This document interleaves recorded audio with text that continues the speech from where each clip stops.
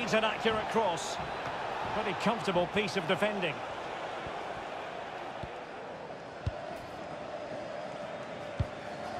Marco Asensio.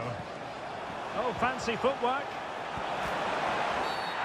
Was it the denial of a clear goal-scoring opportunity? If so, he's off. And in the refereeing trade, they call it DOGSO. Denial